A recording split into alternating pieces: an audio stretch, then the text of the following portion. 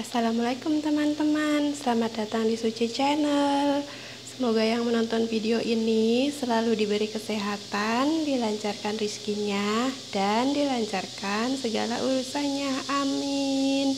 Dan buat teman-teman yang menonton video ini Jangan lupa like, komen, subscribe dan aktifkan lonceng notifikasinya untuk mendapatkan video terbaru dari saya. Terima kasih. Pada video saya kali ini, saya akan mengajak teman-teman melihat saya membuat kerupuk nasi yang simple dan gurih ya. Yuk kita lihat apa saja bahan-bahannya. Nah, ini bahan-bahannya. Ada satu mangkok nasi, dua sendok makan tepung aci, kalian bisa pakai tepung tapioka atau tepung kanji ya. Dan ini ada sedikit ebi air dan ini ada ketumbar bubuk bawang putih bubuk penyedap rasa garam dan ini minyak goreng ya. Yuk kita mulai membuatnya. Ini wadahnya sudah saya siapkan ya. Masukkan nasinya masukkan semua bahan ya. Masukkan semua.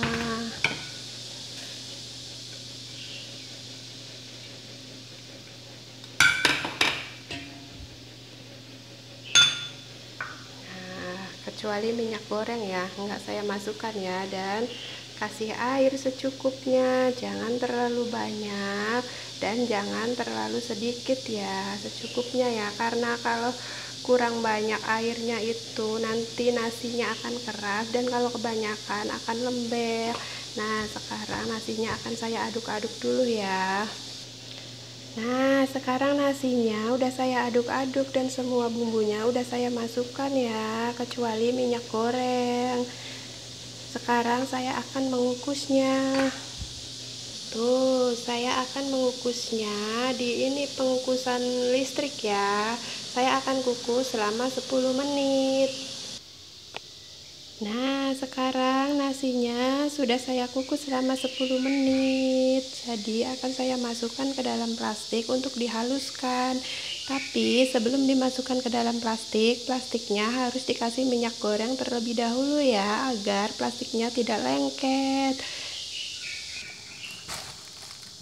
tuh saya kasih minyak goreng dulu ya sedikit. Agar plastiknya tidak lengket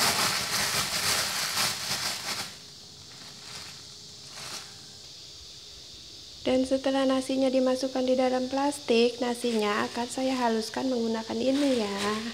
Dihaluskan sampai halus sekarang nasinya sudah saya haluskan, waktunya untuk mencetaknya. Saya sudah menyiapkan plastik. Plastiknya saya olesin minyak goreng dulu ya, agar tidak lengket. Oh, dua lembar plastik ya. Dan ini untuk ngejemurnya nanti saya akan taruh di sini. Ini karungnya bersih ya teman-teman. Karungnya masih baru, lalu saya sobek untuk ngejemur. Yuk dilihat cara mencetaknya.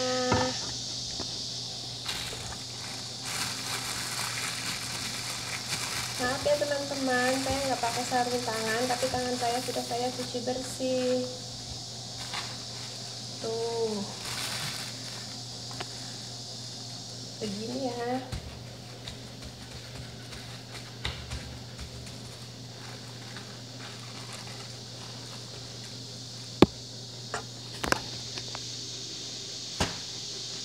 Tuh setelah dicetak taruh di sini lakukan sampai selesai ya.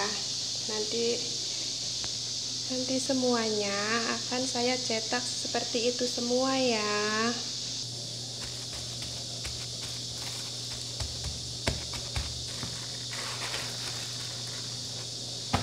Cara mencetaknya kayak gini aja. Gampang kan ini nasinya dibulat-bulat dulu ya. Taruh sini lalu ditekan kan kayak gini.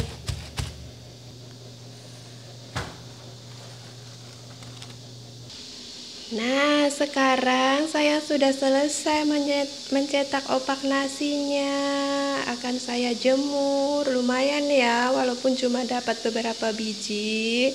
Namanya juga tinggal di kampung harus kreatif untuk bikin cemilan sendiri sekarang saya akan jemur di bawah terik matahari Tuh, sekarang saya mau jemur di sini di bawah terik matahari. Saya jemur sampai benar-benar kering ya. Dijemur 3 sampai 4 hari atau sampai benar-benar kering. Soalnya kalau enggak kering, opaknya ini akan berjamur, nggak akan tahan lama. Jadi ngejemurnya harus sampai benar-benar kering agar tahan lama ya. Nah, setelah opaknya dijemur selama tiga hari, hasilnya kayak gini ya teman-teman. Dan sekarang akan saya goreng. Tuh, tunggu minyaknya panas. Gunakan minyak yang banyak ya, agar opaknya mekar. Tuh. Tuh, sekarang opak nasinya, kerupuk nasinya atau opak nasinya udah saya goreng ya, udah siap untuk dimakan. Tuh. Tuh, kayak gini jadinya.